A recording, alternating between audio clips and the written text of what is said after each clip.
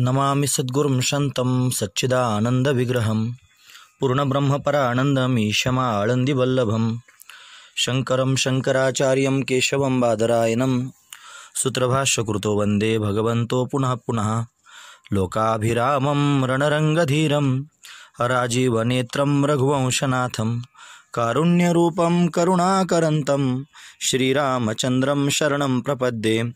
मनोजवं मारुततुल्यवेगं जितेन्द्रियं बुद्धिमतां वरिष्ठं वातात्मजं वानरयूथमुख्यं श्रीरामदूतं शरणं प्रपद्ये नमस्कार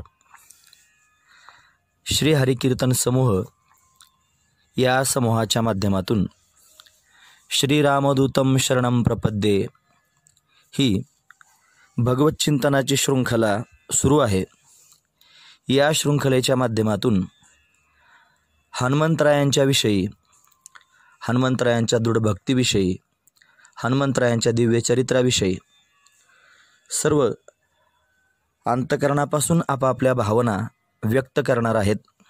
यामध्ये आमच्याही वाट्याला श्री हनुमंतरायांची सेवा करण्याचा हा योग श्री हरिकीर्तन समूहाच्या माध्यमातून प्राप्त झालेला आहे. या किर सेवेकरिता जो विषय दिलेला आहे जो विषय मिळालेला आहे तो म्हणजे खिळ्या माझी हनुम्या शहाणा. आजच्या चिंतनाचा विषय खिळ्या माझी हनुम्या शहाणा. श्री संत नामदेव महाराज म्हणजे श्री संत बालभागवत नामदेव महाराज यांची अनेक प्रकारची अभंगरचना सर्व विख्यात आहे. त्या अभंगांमध्ये अनेक कोटी पाहायला मिळतात. अनेक प्रकरणं पाहायला मिळतात. या प्रकरणांमध्ये खिळ्या नावाचं अतिशय सुंदर एक प्रकरण आहे की ज्या प्रकरणामध्ये नामदेव महाराजांनी खिळीमिळीची भाषा वापरलेली आहे. तो अभंग नऊ चरणांचा अभंग आहे. या अभंगामध्ये एक विशेष भाव नामदेव महाराजांनी प्रगट केलेला आहे. तो भाव म्हणजे अनंतकोटी ब्रह्मांडाचा नायक असणारा भगवान हा स्वतः या संपूर्ण विश्वाच्या रूपाने नटलेला आहे. तो खेळतो आहे. आणि त्याच्या खेळामध्ये त्याने अनेकांना सहभागी करून घेतलेला आहे. म्हणजे तो स्वतः खेळगडी होऊन खेळू लागला आणि अनेकांना खेळगडी म्हणून आपल्याबरोबर त्यानं खेळवायला सुरुवात केलेली आहे. म्हणून भगवंताच्या त्या खेळामध्ये जे जे सर्व लोक खेळण्याकरिता आलेले आहेत ते सर्व भगवंताचे लीला सहचर आहेत. त्या लीला सहचरांबरोबर हा भगवान कसा खेळतो याचं वर्णन श्री संत नामदेव महाराजांनी अतिशय सुंदर करून सांगितलेलं आहे. खरं तर ब्रह्मज्ञानी असणाऱ्या महापुरुषाच्या दृष्टीने हे संपूर्ण विश्व म्हणजे एक प्रकारचा खेळच आहे. ज्या वेळेला वेदांताचं अद्वैत तत्त्वज्ञान जीवनामध्ये उतरतं जीवनामध्ये त्याचा अधिकार प्राप्त होऊन ते अंगी बांधतं त्यावेळेला दिव्य अनुभूती प्राप्त होते. म्हणजे वेदांतातलं तत्त्वज्ञान करण्याकरिता सर्वात आधी मनुष्य वेदांत ज्ञान करण्याकरिता त्याच्याकडे बुद्धी अतिशय सूक्ष्म असायला हवी. म्हणजे ज्ञान करण्याकरिता बुद्धी असावी लागते. तेच ज्ञान पटण्याकरिता त्याच्याकडे पुण्य असावे लागते. आणि ते ज्ञान झेपण्याकरिता त्याचा अधिकार असावा लागतो. बुद्धी असल्यानंतर ज्ञान कळतं पुण्यानं ज्ञान पटतं आणि अधिकारानं ज्ञान झेपतं. म्हणून ब्रह्मस्वरूपाचा व्यापक बोध अंतकरणामध्ये ठसावा याच्याकरिता दिव्य असणारा अधिकारही असायला हवा. हा जो खेळ प्रकार आहे ह्या जो खेळ या प्रकरण आहे या खेळ या प्रकरणामध्ये नामदेव महाराजांना या उच्च कोटीच्या अवस्थेमध्ये असणाऱ्या महापुरुषांचं वर्णन करून सांगायचं आहे. त्यामध्ये भगवंताची लीला सांगत असताना ते स्वतःच वर्णन करून सांगतायत. नव्हे तेच कैसे झाले रे खेळिया नाही तेच दिसू लागले रे. आरोप होते ते रूपासे आले जीव शिव नाम पावले रे. आपलीच आवडी धरुणी खेळया आप आपणा ते व्याले रे. जोपना कारणे केली एक बायको तिने एवढे वाढविले रे. एक खेळया ऐक खेळया तुझं सांगितले. आयसे जाणून खेळ खेळे रे.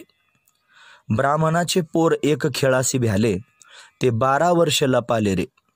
कापत कापत बाहेर आले ते नागवेची पळून गेले रे.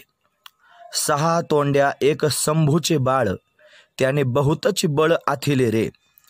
खेळ खेळता दगदगी व्याले ते कपाट फोडून गेले रे. चहू तोंड्याचा पोर एक नाऱ्याही जाण तो खेळ्या माझी आगळा रे. कुचाली करुणी पोरे भांडवी आपण राहे वेगळा रे गंगा गौरी दोघी भांडवी संभ्याशी धाडिले वनारे. खेळ खेळे परी ठा डाई न सापडे तो एक खेळया शहाणा रे खेळया माझी हणव्या शहाणा तो न पडे कामव्यसनी रे. कामच नाही तेथे क्रोधचे कैसा तेथे कैसे भांडण रे. रामागड्याची आवडी मोठी म्हणून लंके पेण रे. यादवाचा पोर एक गोप्या भला तो बहुतची खेळ खेळला रे. लहान थोर अवघे मारिले खेळच मोडून गेला रे. आयसे खेळी कोट्यानुकोटी गणित नाही त्याला रे. विष्णुदास नामा म्हणे वडील हो पहा देही शोधून रे. तात्पर्य अर्थ नऊ चरणांचा चौचरणी असणारा हा नामदेव महाराजांचा जो अभंग आहे या अभंगामध्ये उपक्रम करताना नामदेव महाराजांनी सांगितलं नव्हे तेच कैसे झाले रे खेळिया. हे दिसणारं जे संपूर्ण नामरूपात्मक जगत आहे मुळात याला सत्ताच नाही. प्रपंच एक झाला होता हे तो समूळ मिथ्या वार्ता न होईल मागुता कदा कल्पांती घडेना. सत्तारहित असणारा हा प्रपंच आहे. हा प्रपंच कधी झालाच नाही. जो झालाच नाही तो प्रत्यक्ष प्रतितीला येतो आहे आणि तो सर्वांना दिसतो आहे. म्हणून त्या प्रपंचाविषयी बोलत असताना पुढे अनेक प्रमाणांनी त्याने ते वर्णन करून सांगितलेलं आहे. आपुलीचे आवडी धरुणी खेळया आप आपना ते व्याले रे. तो सच्चिदानंद स्वरूप असणारा परमात्मा स्वतःचं सुख घेण्याकरिता स्वतःच अनेक रूपानं प्रगट झाला. हे करत असताना त्याला काय करावं लागलं? जोपनाकारणी केली एक बायको. जोपनाकारणी म्हणजे त्यानं प्रजोत्पत्ती होण्याकरिता किंवा विस्तार करण्याकरिता एक बायको केली. ती बायको जर कोणती असेल तर ती माया आहे. माया म्हणजे प्रकृती. ही मायारूपी पत्नी हिला प्राप्त करून यानं त्या पत्नीपासून हा संपूर्ण विस्तार वाढविलेला आहे. म्हणजे सच्चिदानंद स्वरूप असणारं ते ब्रह्म त्याच ब्रह्मस्वरूपाच्या ठिकाणी अनादिकल्पित भावरूप असणारी ही माया प्रतितीला आली आणि या मायेच्या संगतीने त्यांचा अनादिकल्पित तादात्म्य संबंध झाला आणि या संबंधातून विश्वरूपी पुत्र प्रगट झाला. माऊली महावैष्णव भगवान ज्ञानोबाराय अमृतानुभवाच्या प्रथम प्रकरणामध्ये त्याचं वर्णन करून सांगतात. आय सी ए निरुपाधिके जगाची जी जनिके ती वंदिली मिया मुळिके देवो देवी. ज्ञानोबाराय त्यांना देव आणि देवी असं म्हणतात. म्हणजे तो सच्चिदानंद घन असणारा परमात्मा देव. आणि त्याच्यावर प्रतितीला आलेली जी अनिर्वचने असणारी माया ती देवी. तिचा त्याचा संग झाल्या कारणाने तो परमात्मा विश्वरूपानं प्रत्यक्ष प्रगट झाला आणि स्वतः स्वतःबरोबर खेळू लागला. हा संपूर्ण भगवंताचा खेळ आहे आणि तो स्वतःबरोबर खेळतो आहे. त्या खेळण्यामध्ये त्याने अनेक प्रकारचे लीला सहचर स्वतःच अनेक रूपानं प्रगट होऊन जगाच्या समोर दाखवले. त्याचे जे लीला सहचर आहेत त्यांचीच नावे श्री संत नामदेव महाराजांनी या अभंगाच्या माध्यमातून आपल्या सर्वांच्या समोर सांगितलेले आहेत. उदाहरणार्थ ब्राह्मणाचे पोर एक खेळासी भ्याले ते बारा वर्ष लपाले रे. कापत कापत बाहेर आले ते नागवीची पळून गेले रे. म्हणजे श्री शुकदेवजी महाराजांविषयी श्री नामदेव महाराज या माध्यमातून बोलत आहेत की ब्राह्मणाचे पोर एक खेळासी भ्याले श्री शुकदेवजी महाराज व्यासपुत्र आहेत.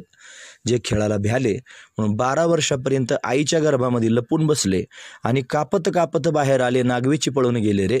जे घाबरत घाबरत त्यांनी बाहेर आले आणि नागवेच जंगलाच्या दिशेने पळून गेले. पण भगवंताच्या भक्तीमध्ये तल्लीन झाले. म्हणजे त्या भगवंताच्या खेळामध्ये ते सहभागी झाले. म्हणजेच ते भगवंताचे लीला सहचर आहेत. हा त्यातला विशेष भाव आहे. सहा तोंड्या एक संभूचे बाळ. त्याने बहुतची बळ आथिले रे. सहा तोंड्या म्हणजे कार्तिक स्वामी. ज्यांना षडानन असं आपण सर्वजण म्हणतो त्यानं फार बल प्राप्त करून घेतलं. त्याच्या बळाची विशेष असणारी स्थिती खेळता खेळता दगदगी व्याले ते खेळून खेळून दमले आणि कपाट फोडून गेले रे. म्हणजे कैलास पर्वतावर असणारे कार्तिक स्वामी दक्षिण प्रांतामध्ये वास्तव्य करण्याकरिता निघून गेले हा त्यातला अर्थ आहे. यानंतर चौतोंड्याचा पोर एक नार्याही भला. चौतोंड्या म्हणजे ब्रह्मदेव आणि नाऱ्या म्हणजे नारदजी महाराज. तो खेळ्या माझी आगळा रे तो या सर्व खेळ्यांमध्ये आगळा वेगळाच खेळे आहे. याने काय केलं? याने अनेक लोकांबरोबर संवाद साधून या सर्वांमध्ये भांडण लावून दिलं. कुचाली करुणी पोरे भांडवी. यानं कुचाळी केली. म्हणजे कुभांड रचून अनेक बाकीच्या पोरांना म्हणजे खेळी असणाऱ्या खेळगाड्यांना भांडायला लावलं. आपण राहे वेगळा रे. आणि स्वतः मात्र वेगळाच राहिला. मग उदाहरण स्वरूपामध्ये श्री नामदेव महाराज ना नारदजी महाराजांची खोडी सांगतात. ते म्हणतात गंगा गौरी दोघी भांडवी संभ्याशी धाडले वाणारे गंगा आणि गौरी भगवान शंकराच्या जवळ वास्तव्य करतात. गंगा भगवान शंकराच्या मस्तकावर राहते आणि गौरी भगवान शंकराच्या अंकावर मांडीवर बसते. म्हणून दोघींनाही एकमेकीविषयी सांगितलं आणि दोघींमध्ये भांडण लावून दिलं. त्याचा परिणाम भगवान शंकराला वनात निघून जावं लागलं. म्हणजे अशा पद्धतीने नारदजी महाराजांनी यांच्यामध्ये भांडण लावलेलं आहे. हे उदाहरण श्री नामदेव महाराजांनी या ठिकाणी वर्णन करून सांगितलं. म्हणून खेळ खेळे परी डाई न सापडे तो एक खेळ या शहाणारे. म्हणून खेळ तर खेळला हा गडी म्हणजे नारदजी महाराज रूपी गडी हा खेळ तर खेळतो आहे पण डाई न सापडे हा कोणाच्या हातात सापडत नाही हा शहाणा असणारा खेळ खेळ आहे.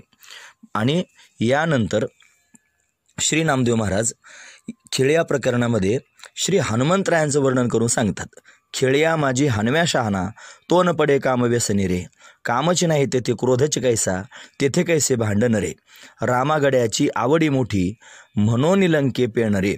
म्हणून हनुमंतरायांविषयी बोलत असताना हा खेळगडी आहे आणि तो हनुम्या त्याचं नाव आहे आणि हा हनुम्यारूपी खेळगडी शहाणा आहे.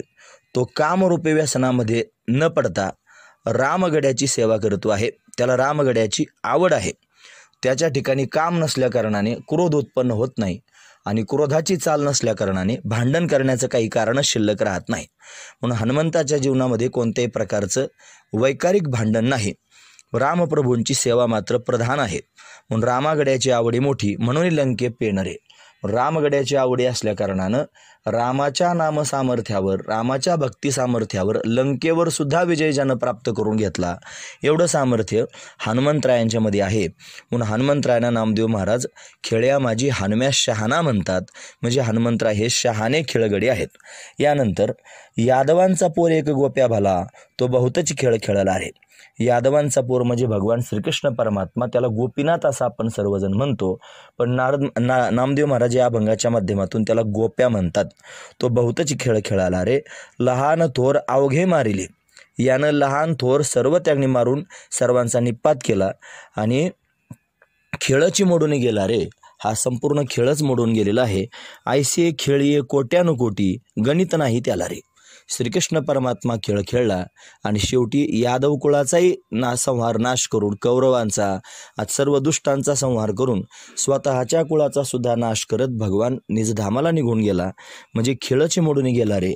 आयसे खेळ हे कोट्यानुकोटी गणित नाही त्याला रे. असे अनेक खेळे झालेले आहेत. कोट्यानुकोटी असे खेळे त्यांनी होऊन गेलेले आहेत. त्याला गणित नाही. विष्णुदास नामा म्हणे वडील हो पहा देही शोधून रे. विष्णुदास श्री नामदेव महाराज वर्णन करून सांगतात की आपण सर्वांनी या खेळ या स्वरूपामध्ये पदार्पण करता येईल. पण ह्या खेळ या आपल्याला करण्याकरिता आपण आधी आत्मस्वरूपाचा बोध प्राप्त करून घ्यावा.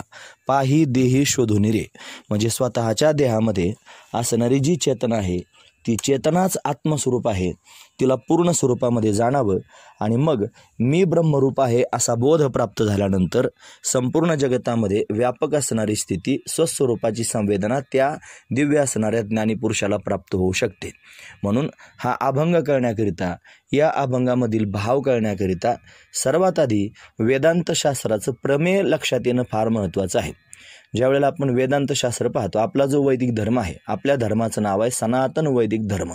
ज्याला आपण हिंदू धर्म म्हणतो हिंदू का म्हणतो त्याचं कारण हिंसया दुयते हृदयम यस्य सा हिंदू. हिंसेनं ज्याचं हृदय दुःखी होतं त्याला हिंदू म्हणतात. पण तरीसुद्धा आपल्या धर्माचं मूळ नाव आहे जो सनातन वैदिक धर्म म्हणून सनातन वैदिक धर्मामध्ये जी वैदिक परंपरा वेदानं सांगितलेलं तत्त्वज्ञान ते अतिशय श्रेष्ठ असणारं तत्त्वज्ञान आहे. म्हणून वेदात सांगितलेलं दिव्य तत्वज्ञान श्री व्यासदेवांनी अर्ध्या श्लोकात आपल्यासमोर वर्णन करून सांगितलं. ते म्हणतात श्लोकार्धेन प्रवक्ष्यामी यदुक्तम ग्रंथ कोटिभिही ब्रह्मसत्यम जगन्मिथ्या जीवो ब्रह्मैव नापरहा पण अर्ध्या श्लोकामध्ये मी कोटी कोटी ग्रंथांमध्ये सांगितलेलं तत्त्वज्ञान सांगतो. ते जर काय असेल तर ब्रह्मसत्यम जगन्मिथ्या जीवो ब्रह्मैव नापरहा ब्रह्मसत्य आहे. दिसणारं संपूर्ण जगत हे मिथ्या आहे. आणि जीव हा ब्रह्मरूप आहे.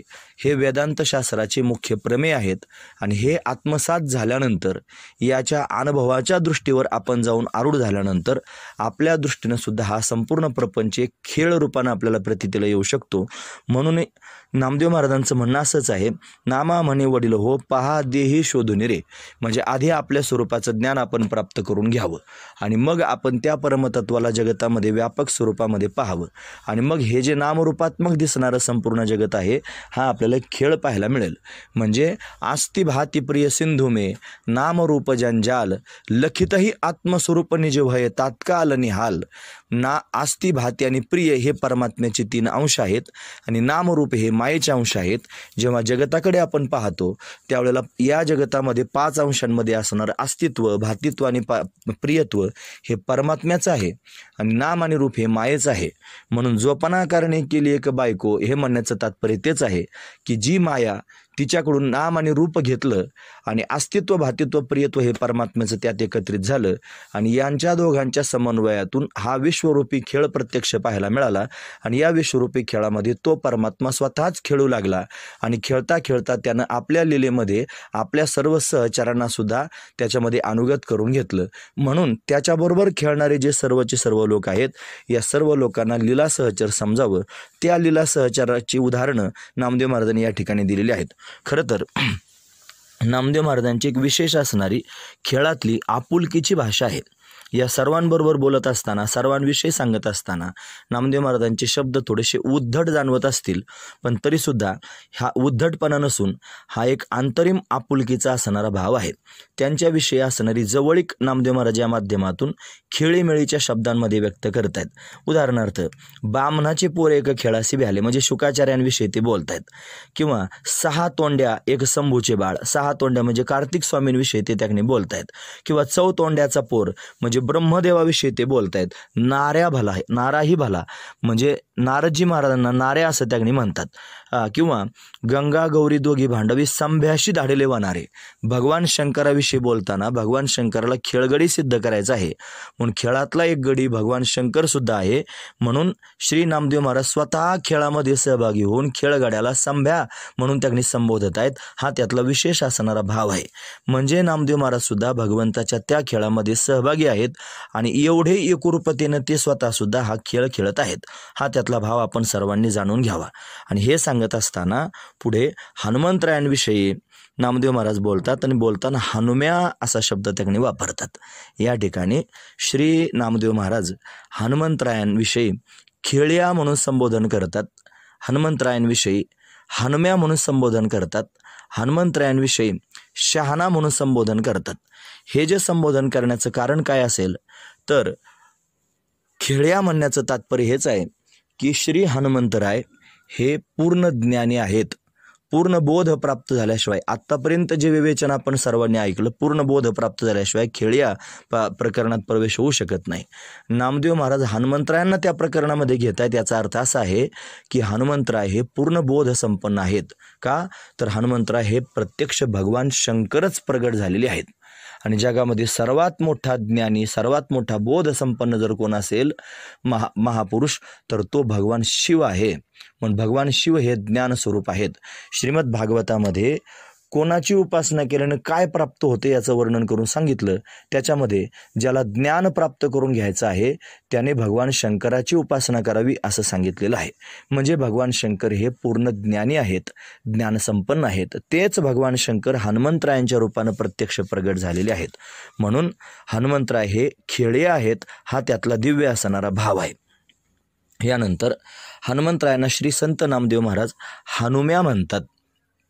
हे हनुमान हनुम्या म्हणण्याचं तात्पर्य काय? खरं तर हनुमंतरायांना अनेक नावं आहेत.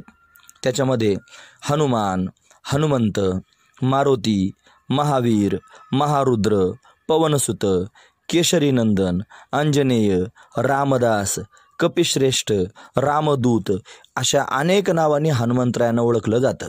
पण या अभंगामधून श्री संत नामदेव महाराजांना हनुम्या असंच म्हणावं वाटलं.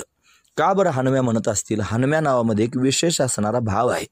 त्याच्यामध्ये एक विशेष असणारी दडलेली कथा आहे. ज्या वेळेला चैत्र पौर्णिमेला सूर्योदयाच्या वेळी हनुमंतरायांचं प्राकट्य झालं त्यावेळेला श्री हनुमंतराय भगवान सूर्यनारायणाला उगवत असताना पाहू लागले आणि पाहताना त्यांना असं वाटलं लालबुंद असणारं हे सूर्याचं बिंब म्हणजे काहीतरी खाण्याची वस्तू आहे किंवा एखादं फळ आहे. म्हणून हनुमंतरायांनी प्रचंड बलशाली असणारे हनुमंताने त्या सूर्याला पकडण्याकरिता बाल समय रवी भक्षलियो तब तीनो लोक भयो अंधियारो असं आपण म्हणतो. बाल समयामध्ये सूर्यनारायणाला ज्यावेळेला भक्षण करण्याकरिता हनुमंतराय उड्डाण घेऊन निघाले त्यावेळेला सर्वत्र अंधार पसरला. देवदेवतांना चिंता वाटू लागली. देवतांचा असणारा राजा इंद्र क्रुद्ध झाला रागावला आणि कुणीतरी आसूर भगवान सूर्यनारायणावर आक्रमण करतोय असं पाहून त्यानं स्वतःच्या वज्राचा प्रहार हनुमंतरायांवर केला. आणि तो वज्रप्रहार हनुमंतरायांच्या हनुवटीला लागल्या कारणानं हनुमंतरायांची हनुवटी मोठी झालेली आहे. हनुमंतराय बेशुद्ध पडलेले आहेत. आणि त्यावेळेला वायुदेव स्वतः प्रत्यक्ष प्रगट झाले. वायुदेवानं त्यांनी क्रुद्ध होऊन सर्व लोकांना सांगितलं की हा हनुमंत माझा पुत्र आहे. आणि याला इंद्रानं वज्रप्रहार केलेला आहे. म्हणून मी सर्व जगतातला प्राणवायू आता शोषून रोखून घेईन. म्हणून त्यांनी सर्व देवतांनी वायुदेवाची विनवणी केली. हनुमंतरायांना अनेक प्रकारचे वरदानं प्राप्त करून दिले. आणि हनुमंतरायांना नवीन नाव प्राप्त झालं. हनुवटीला रु हा व वज्राचा प्रहार झाल्या कारणानं हनुवती हनुवटी मोठी झाली. म्हणून हनुमंतरायांना हनुमंत असं नाव त्यांनी प्राप्त झालेलं आहे. हनुमान किंवा हनुमंत म्हणण्याचं हे कारण आहे. मारुती म्हणण्याचं कारण ते अतिशय वेगवान वायू समान वेगवान आहेत. मारुत म्हणजे वायू.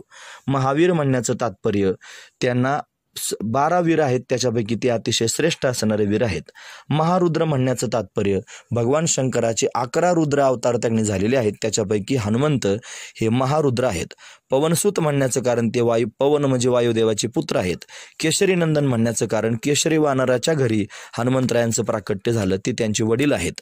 आंजनेय म्हणण्याचं कारण आंजनीच्या उदरातून भगवान हनुमंतरायांचं प्राकट्य झालं. रामदास म्हणण्याचं कारण यांनी जीवनभर रामाचं दास्यत्व त्यांनी केलं. कपिश्रेष्ठ म्हणण्याचं कारण वानर कुळामध्ये श्रेष्ठ म्हणून ते प्रगट झाले. रामदूत म्हणण्याचं कारण त्यांनी रामाचा दूत होऊन हा अनेक अशा पद्धतीचे कार्य केलेले आहेत. दिव्य कार्य केलेले आहेत. म्हणून हनुमंताचे अनेक नाव आहेत. नामदेव महाराजांनी मात्र या अभंगाच्या माध्यमातून हनुम्या अशा नावाचा उल्लेख केलेला आहे. म्हणजे हनुमंतरायांना ते खेळ्या म्हणतात का म्हणतात? हनुमंतराय ज्ञानसागर आहेत. जय हनुमान ज्ञान गुणसागर असं आपण म्हणतो. तुलसीदास स्वामींनी त्यांना ज्ञान गुण सागर म्हटलं. ज्ञान म्हणजे ज्ञान आणि सागर म्हणजे समुद्र. ते ज्ञानाचं समुद्र आहेत. जे ज्ञान समुद्र आहेत तेच हा खेळ समजू शकतात. त्यांनाच हा खेळ कळू शकतो. म्हणून खेळ या प्रकरणामध्ये हनुमंतरायांना प्रकर्षानं वर्णित करण्याचं कारण हेच आहे की हनुमंतराय हे ज्ञानी आहेत म्हणजे खेळे आहेत. नंबर दोन ते त्यांनी हनुमंत का आहेत याचं आपण संक्षिप्त वर्णन श्रवण केलेलं आहे. आता हनुमंतरायांना श्री नामदेव महाराज शहाणा म्हणतात. खेळ्या माझी हनुम्या शहाणा शहाणा म्हणतात. का बरं शहाणा म्हणत असतील? शहाणा म्हणण्याची अनेक कारणं मला तुमच्यासमोर वर्णन करून सांगता येतील. खरं तर श्री हनुमंतराय सर्व गुण संपन्न आहेत. ज्ञान गुणसागर अनेक गुणांची खान आहेत गुणसंपन्न आहेत. अतिशय थोडेसे गुण आपण चिंतनामध्ये त्यांनी पाहूया. सर्वात प्रथम गुण जर काय असेल तर हनुमंतरायांच्या जीवनामध्ये प्रभू रामचंद्रांची दिव्य असणारी भक्ती आहे. आणखी नंबर दोन हनुमंतरायांकडं शूरत्व आहे. नंबर तीन हनुमंतरायांकडे धीरत्व आहे. नंबर चार हनुमंतराय प्रभू रामचंद्रांचं कार्य करण्यामध्ये सादर आहेत. नंबर पाच हनुमंतरायांकडे विशेष असणारी दृष्टी आहे. नंबर सहा हनुमंतरायांकडे विशेष असणारी शक्ती आहे. नंबर सात हनुमंतरायांकडे विशेष असणारी युक्ती आहे. म्हणजे भक्ती शक्ती युक्ती आदी करून सर्व गोष्टी सर्व गुण संपन्न हनुमंतराय आहेत. म्हणून त्यांना शहाणं म्हणण्याचं तात्पर्य हेच आहे की या सर्व गुणांनी ते युक्त आहेत. पण या सर्व गुणांचा उपयोग श्री हनुमंतरायांनी स्वकार्याकरिता न करता याचा उपयोग हनुमंतरायांनी रामकार्याकरता केलेला आहे. म्हणजे प्रभू रामचंद्रांच्या कार्यामध्ये ते सदैव आदरानं तत्पर तत्पर होऊन त्यांनी समोर आलेले आहेत. त्यांच्याकडे दास्य भक्ती आहे. म्हणून दास्यत्व भक्ती करणं सामान्य गोष्ट नाही. भक्ती करणं सर्वात श्रेष्ठ असणारी गोष्ट आहे. नामदेव महाराज हनुमंतराय भक्ती करतायत म्हणून त्यांना शहाणं म्हणतात.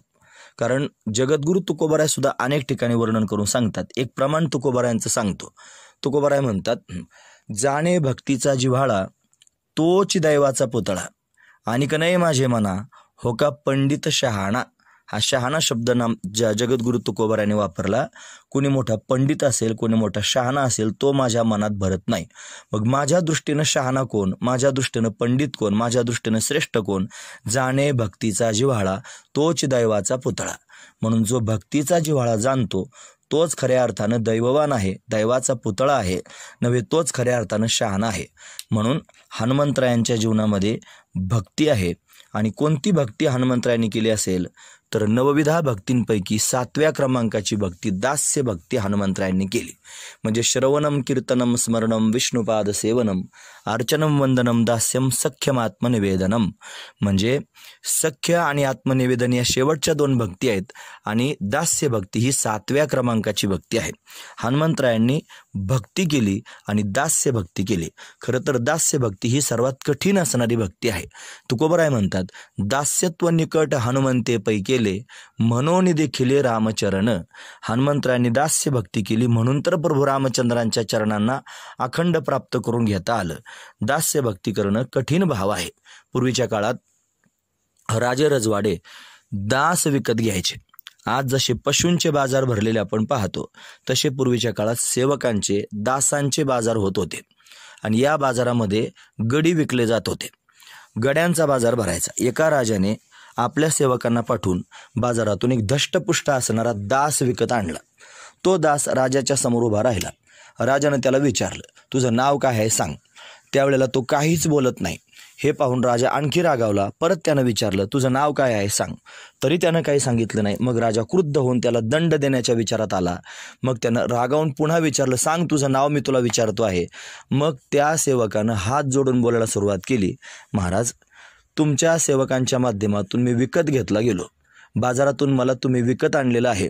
मी तुमच्यासमोर उभा आहे आणि तुमचा दास म्हणून उभा आहे. जो दास असतो त्याचं स्वतःचं असं त्याच्याकडे काहीही नसतं. म्हणून जे स्वामी देईल तेच त्यानं स्वीकारावं. म्हणून माझं स्वतःचं नावसुद्धा माझ्याकडे नाही. तुम्ही जे नाव ठेवाल तेच माझं नाव.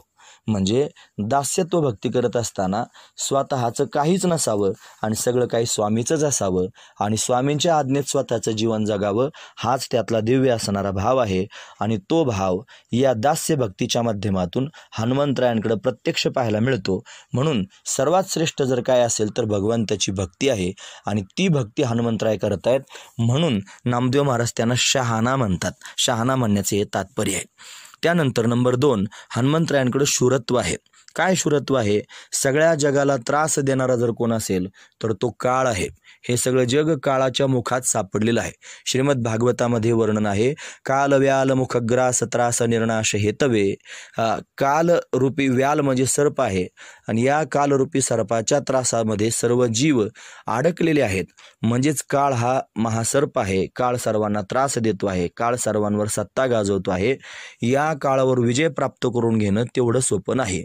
पण हनुमंतरायांनी काळावरही विजय प्राप्त करून घेतला. म्हणून हनुमंतराय शूर आहेत. म्हणजे हा यांनी चिरंजीव पद प्राप्त करून घेतलेलं आहे. म्हणजे आपण सप्त चिरंजीवांची नावं पाहतो. अश्वत्थामा बलिर्व्यासो हनुमानश्च बिभीषणा. कृप परशुरामश्च सप्त येते चिरंजीविना. या सात चिरंजीवांमध्ये हनुमंतराय आहेत. म्हणून काळावरही विजय प्राप्त करून घेण्याचं सामर्थ्य त्यांच्यात आहे. म्हणून ते शूर आहेत. हे शूरत्वाचं अंग हनुमंतरायांनी प्राप्त करून घेतलं. आणि म्हणून नामदेव महाराज त्यांना शहाणा म्हणतात. जो काळावर विजय प्राप्त करून घेण्याकरिता सामर्थ्य संपन्न होतो तोच खऱ्या अर्थानं जगामध्ये शहाणा म्हणवला जातो. म्हणून हनुमंतराय शहाणा आहेत शूर आहेत म्हणून. हनुमंतराय धीर आहेत. धीर म्हणजे धैर्य संपन्न आहेत. आपल्या सर्वांची जी इंद्रिय आहेत पंचज्ञानेंद्रिय पंचकर्मेंद्रिय आणि अकरावं मन आहे. सर्व इंद्रियांचा राजा मन आहे. म्हणून या मनानं जर कृपा केली तर आपण परमार्थ करू शकतो. मन ज्याला आवडता येतं तोच भगवंताच्या भक्तीमध्ये पदार्पण करू शकतो. म्हणून मनुराजा एक देहपुरी असे नांद तू त्या सिदो घेणारी पुत्र पौत्र सहोदर भारी त्याने कृपा केली आम्हावरी हो मनोनी आलो या देशा नाहीतरी होतो हिंडत दिशा असे अनेक प्रमाण आपण पाहतो. मनाची कृपा झाल्याशिवाय मन आवरता आल्याशिवाय परमार्थ करता येत नाही. हनुमंतरायांचं मन ताब्यात आहे. म्हणून हनुमंतरायांनी सगळ्या इंद्रियांवर विजय प्राप्त करून घेतलेला आहे. ते जितेंद्रिय आहेत. हा धैर्य संपन्न मनुष्यच इंद्रियांना आवरू शकतो. धैर्य संपन्न मनुष्यच मनाला आवरू शकतो. म्हणून हनुमंतराय धीर आहेत. जगद्गुरु तुकोबराय हनुमंतरायांविषयी बोलत असताना म्हणतात शूर आणि धीर स्वामी काजी तू सादर. म्हणजे शूर आहेत धीर आहेत. हा म्हणजे धैर्य संपन्न आहेत. म्हणून स्वतःच्या इंद्रियांना त्यांनी आवरून धरलेलं आहे. जितेंद्रिय अवस्था त्यांना प्राप्त झालेली आहे. म्हणून नामदेव महाराज त्यांना शहाणा म्हणतात. हे शहाणा म्हणण्यामागचं कारण आहे. नंबर चार हा हनुमंतराय हे त्यांनी प्रभू रामचंद्रांच्या भक्तीमध्ये सादर आहेत. सादर शब्दाचा अर्थ सदैव तत्पर हा एक आपण करू शकतो. आणि सादर शब्दाचा अर्थ असा होतो प्रभू रामचंद्रांच्या कामामध्ये कार्य करण्यामध्ये हनुमंतरायांच्या अंतकरणामध्ये आदर आहे. म्हणजे श्री हनुमंतराय फक्त रामरायाचे कार्य पूर्ण करतात असं नाही तर रामरायाचं कार्य हे आदरानं पूर्ण करतात असं आहे. म्हणून जो भगवंताचं कार्य आदरानं करतो तोच मनुष्य खऱ्या अर्थानं शहाणा असू शकतो. म्हणून नामदेव महाराज इथे त्यांना सादर असं म्हणतात. हा प्रत्येक कामामध्ये हनुमंतराय प्रभू रामचंद्रांच्या समोर उभे आहेत. अनेक वेळेला अनेक लोकांनी हनुमंतरायांवर कुरघोडीसुद्धा करण्याचा प्रयत्न केला की हाच हनुमंत कायम जवळ असतो प्रभू रामचंद्रांच्या असं त्यांनी म्हणण्याचं सर्व लोकांचं तात्पर्य. म्हणून त्याला सर्व का काम प्रभू रामचंद्र सांगतात. मग आम्हालाही काही काम सांगायला हवं. म्हणून अनेक लोकांना प्रभू रामचंद्राने अनेक प्रकारचं कार्य सांगितलं. पण हे सगळं कार्य सांगितल्यावर हनुमंताकरिता काहीच काम शिल्लक राहिलं नाही. मग हनुमंतराने सांगितलं की जर मला काहीच काम नसेल तर एक काम मी करू शकतो. प्रभू रामचंद्रांना ज्या वेळेला झोप येईल त्यांना ज्या वेळेला जांभाळी येईल त्यावेळेला त्यांनी जांभाळी देण्याकरिता आ केलं की मी त्यांच्या तोंडासमोर चुटकी वाजवण्याचं काम करू शकतो. मला तेवढं काम दिलं तरी पुरे झालं. म्हणून हे काम हनुमंतरायांना दिलं. त्या कामाच्या माध्यमातून हनुमंतरायांना अखंड रामरायाचं सानिध्य प्राप्त झालं. अखंड प्रभू रामचंद्रांच्या मुखकमलाचं दर्शन हनुमंतरायांना प्राप्त झालं. हे आदरानं हे काम करण्याकरिता ते तयार आहेत. अनेक काम आपले सर्व लोकांना माहीत आहेत. पण एवढ्या जवळ राहून त्यांनी हनुमंतरायांचं दर्शन प्राप्त करून घेणं हे या माध्यमातून आणि हनुमंतरायांना जमलं. म्हणून हनुमंतरायांना नामदेव महाराज शहाणा असं म्हणतात. यानंतर हनुमंतरायांकडे असणारी दृष्टी हा पाचवा मुद्दा आहे. हनुमंतरायांकडे त्यांनी दृष्टी आहे आणि ती अतिशय दिव्य असणारी दृष्टी आहे. काय दृष्टी आहे? आद्य जगद्गुरु श्रीमद शंकराचार्यांनी हनुमत सुक्ती नावाचं हनुमंतरायांचं स्तवन स्तुतिग्रंथ त्यांनी लिहिलेलं आहे. त्यामध्ये रामरायाचा आणि हनुमंतरायांचा एक संवाद वर्णन करून सांगितला. या संवादामध्ये प्रभू रामचंद्रांनी हनुमंतरायांना एक प्रश्न विचारला. हनुमंता तू कोण आहेस? त्यावेळेला हनुमंतरायांनी फार गोड आणि सुंदर असणारं उत्तर दिलं. रामा तुम्ही कोणत्या दृष्टीने मला विचारता आहात? तू कोण आहेस म्हणून. तुम्ही ज्या दृष्टीने विचाराल त्या दृष्टीचं उत्तर माझ्याकडे आहे. त्यांनी सांगितलं देहदृष्ट्या तुदासोहम जीवदृष्ट्या त्वदंशका आत्मदृष्ट्या त्वमेवाहम इति मे निश्चितामती. देहदृष्टीने जर तुम्ही विचारत असाल तर मी तुमचा दास आहे. देहदृष्ट्या तू दासोहम जीवदृष्टीने जर तू कोण आहे असं मला विचारत असाल तर मी जीवदृष्टीने तुमचा दास आहे. आत्मदृष्टीने जर तुम्ही मला तू कोण आहे असं विचारत असाल तर मी आणि तुम्ही एकच आहे. आत्मदृष्ट्या त्वमेवाहम. त्वमेव अहम. त्वम एव अहम. म्हणजे तुम्ही आणि मी एकच आहे. इतिमे निश्चितामती. असा माझ्या मतीनाम बुद्धीचा निश्चय आहे. हा म्हणून माझी बुद्धी अशाच पद्धतीने निश्चय करून स्थिर आहे. म्हणजे देहदृष्टीने मी रामाचा दास आहे. जीवदृष्टीने मी रामाचा अंश आहे. आणि आत्मदृष्टीनं राम आणि मी एकच आहे. असा दिव्य भाव हनुमंतरायांच्या अंतकरणात आहे. अशी दिव्य दृष्टी हनुमंतरायांना प्राप्त झालेली आहे. म्हणून हनुमंतराय शहाणे आहेत. हे शहाणा म्हणण्याचं तात्पर्य आहे. आता नंबर सहा हनुमंतरायांजवळ असणारी दिव्य शक्ती. ही शक्ती प्रभू रामचंद्रांच्या कामाकरिता हनुमंतरायांनी वापरली. म्हणून हनुमंतराय शहाणे आहेत. हनुमंतरायांकडं आचाट असणारी दिव्य असणारी शक्ती आहे. ज्या शक्तीचं मोजमाप करता येत नाही अशी दिव्य शक्ती. पण कर्मधर्मसंयोगानं हनुमंतरायाने एक शाप प्राप्त झाला होता. शक्तीचा विसर पडण्याचा शाप. ज्यावेळेला गुरुग्रही हनुमंतराय ऋषीमुनींच्या आश्रमात राहत असताना त्या ऋषीमुनींची खेळकर प्रवृत्ती असल्याकारणानं हनुमंतराय त्यांची खोडी करत होते. म्हणून ऋषीमुनींची खोडी करत असल्याकारण ते ऋषीमुनी क्रुद्ध झाले रागावले. रागावून त्यांनी हनुमंतरायांना शाप दिला की तू बल बलसंपन्न आहेस म्हणून आम्हा सर्वांना त्रास देतो आहेस. तुला तुझ्या बळाचा विसर पडेल तुला तुझ्या शक्तीचा विसर पडेल. मग पुन्हा त्या ब्राह्मणांना ऋषीमुनींना वाईट वाटलं आणि उशाप त्यांना दिलेला आहे जरी तुझी शक्ती तू विसरलास तरीसुद्धा जो कोणी तुला तुझ्या शक्तीची आठवण करून देईल किंवा तुला जेव्हा कधी तुझ्या शक्तीची आठवण होईल तेव्हा ती शक्ती तुला पुन्हा प्राप्त होईल. म्हणून हनुमंतरायांच्याजवळ वि विशाल अतिशय विलक्षण असणारी शक्ती आहे. पण त्या शक्तीची त्यांना आठवण करून द्यावी लागते. त्याचे दोन तीन मुद्दे मी तुमच्यासमोर सांगू शकतो. ज्यावेळेला हनुमंतराय भगवती जानकीचा शोध घेण्याकरिता वानरांसह निघाले आणि जात असताना त्यांच्याबरोबर जामवंत आदी करून सर्वजण आहेत. संपाती नावाचा जो गीद आहे या संपातीकडून भगवती जानकी ही अशोक वाटिकेत लंकेत आहे असं कळालं. मग तिचा शोध घेण्याकरिता समुद्र पार करून जाईल कोण असा प्रश्न सर्वांच्या समोर आला. म्हणून सर्वांनी एकमुखानं हनुमंतरायांचं नाव सुचवलं. हनुमंतरायाने सांगितलं मी समुद्र पार करून कसा जाऊ? म्हणून जामवंतांना माहीत होतं की हनुमंतात विलक्षण शक्ती आहे. फक्त तिची आठवण करून द्यायला हवी. म्हणून जामवंत आदी करून सर्वांनी जय हनुमान ज्ञान गुण सागर असं त्यांनी हनुमंतरायांचं स्तवन करायला सुरुवात केली. त्याचा परिणाम हनुमंतरायांमधली शक्ती जागृत झाली आणि हनुमंतराय समुद्र उल्लंघन करून गेलेले आहेत. ही हनुमंतरायांची शक्ती रामकार्या कार्याकरिता त्यांनी वापरली म्हणून त्यांना शहाणं म्हणावं लागेल. हनुमंतरायांनी तिथं गेल्यानंतर सीतेला प्रभू रामचंद्रांविषयीचा दिव्य असणारा भाव वर्णन करून सांगितला त्यांचा निरोप सांगितला प्रभू तुम तुम्हाला घेण्याकरिता येत आहेत असंही वर्णन करून सांगितलं. यानंतर फळं खात असताना अक्षय कुमार समोर आला जो रावणाचा पुत्र आहे अतिशय बलाढ्य आहे. या अक्षय कुमाराचा मृत्यू हनुमंतरायाच्या हाताने झाला. म्हणजे हनुमंतरायांमध्ये दिव्य असणारी शक्ती आहे ही शक्ती तिथे त्यांनी काम करते आहे. यानंतर अक्षय कुमार मारला गेल्यानंतर अनेक प्रसंग हनुमंतरायांच्या शक्तीविषयी रामकार्याविषयी पाहता येतील.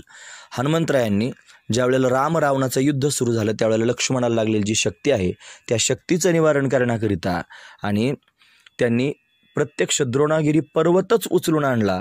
हा पर्वत उचलण्याकरिता लागणारी शक्तीच आहे ती शक्ती हनुमंतरायांमध्ये आहे आणि ती शक्ती हनुमंतरायांनी स्वतः प्रभू कार्याकरिता वापरली म्हणून नामदेव महाराज त्यांना शहाणा असं म्हणतात.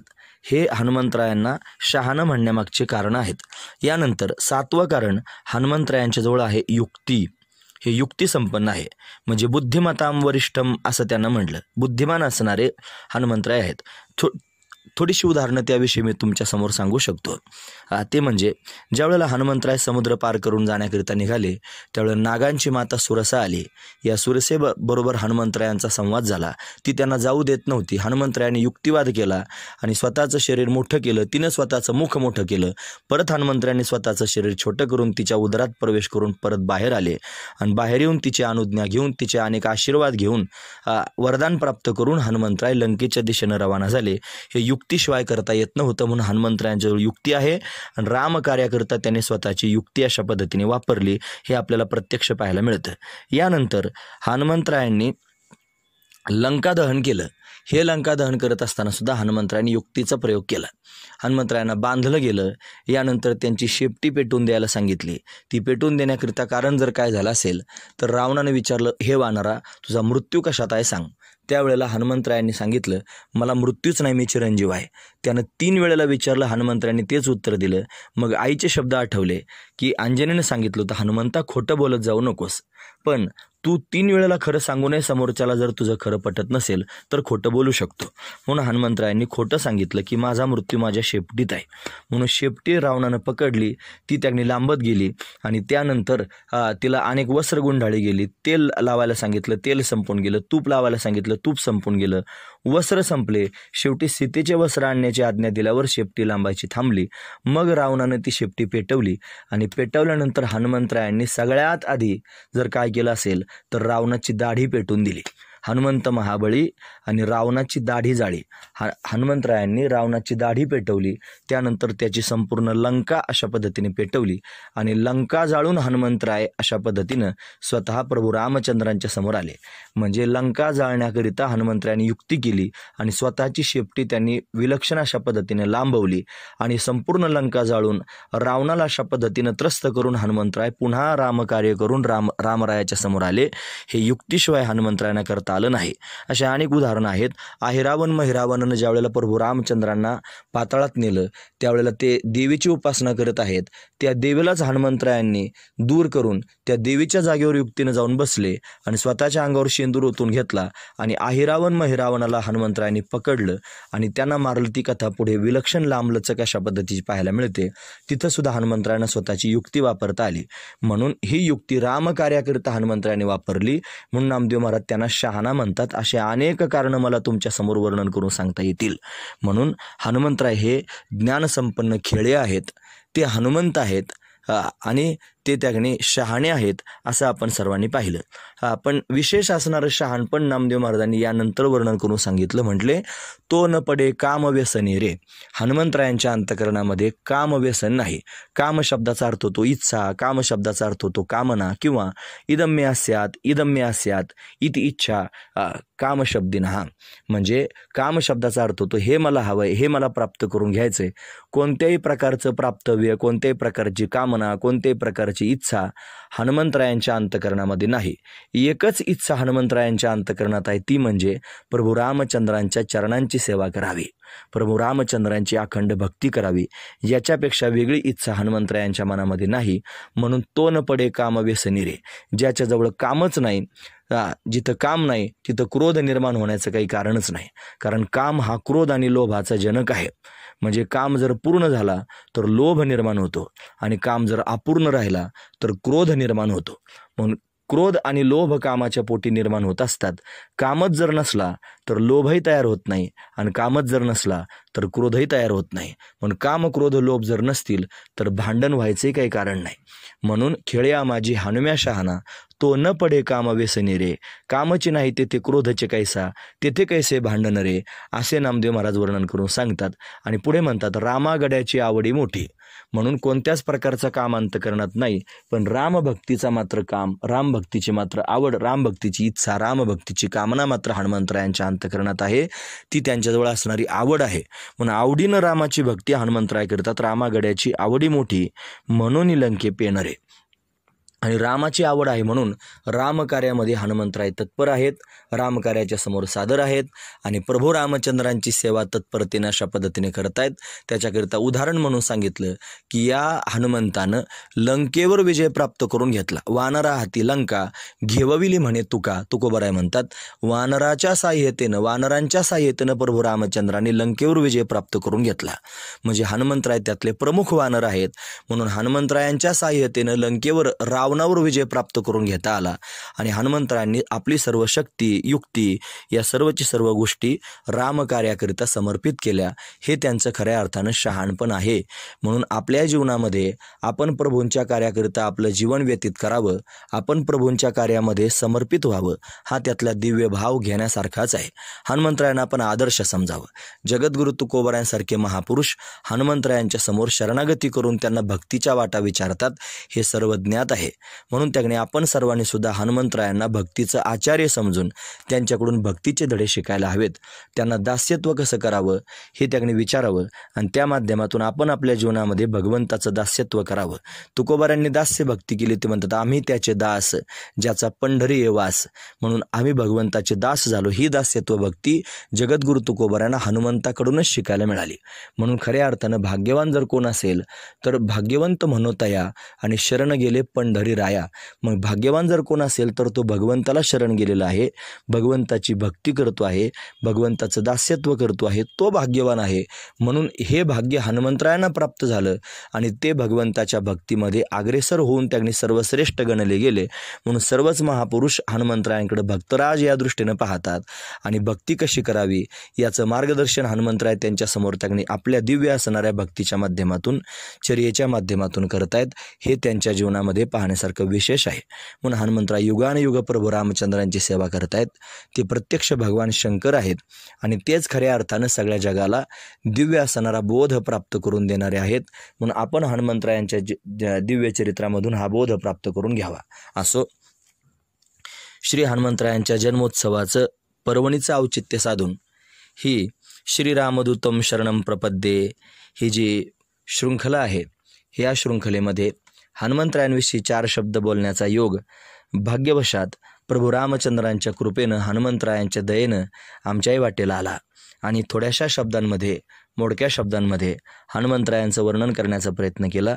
खेळ्या अभंगाच्या माध्यमातून श्री संत नामदेव महाराजांनी अतिशय सुंदर असणारा खेळ्या प्रकरणातला अभंग आपल्या सर्वांच्या समोर ठेवला. हा अभंग नऊ चरणांचा चौचरणी अभंग आहे. आणि या अभंगामधून एका ज्ञानसंपन्न बोधसंपन्न असणाऱ्या खेळ्याचं वर्णन श्री नामदेव महाराजांनी केलेलं आहे. आणि त्याचाच थोडासा विस्तार आपण सुरुवातीला पाहण्याचा प्रयत्न केला. अभंगाचा विस्तार पाहावा लागला म्हणून हे विवेचन थोडंसं दहा पंधरा मिनटं जास्त झालं असेल. पण हनुमंतरायांविषयी बोलायचं होतं या अभंगाच्या माध्यमातून खेळया माझी हानम्या शहाणा हे अतिशय प्रभावी नामदेव महाराजांचं वक्तव्य आहे. नामदेव महाराजांचं प्रमाण आहे. आणि त्या प्रमाणाला अनुसरून हनुमंतरायांविषयी बोलण्याचा योग हा प्राप्त झालेला आहे. त्या प्रमाणाच्या माध्यमातून हनुमंतरायांच्या या दिव्य असणाऱ्या भक्तीमध्ये या हनुमत दर्शनामध्ये त्यांनी प्रवेश झाला. म्हणून त्यांनी श्री नामदेव महाराजांचा अभंग चिंतनी आपण सर्वांनी अशा पद्धतीने संक्षिप्त रूपानं पाहिला. असो झालेली सेवा हनुमंतरायांच्या चरणी प्रभू रामचंद्रांच्या चरणी समर्पित करतो आणि याच ठिकाणी थांबतो. रामकृष्ण हरी.